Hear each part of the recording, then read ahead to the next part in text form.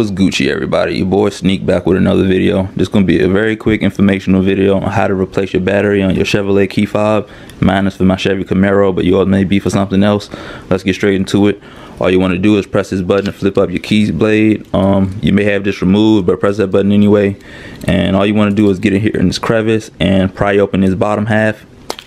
After you do that, you'll see your battery. It uh facing positive side up. So this is the type of battery you'll need a CR2032 it's a 3 volt lithium battery and you just use something to get in there and pry that out.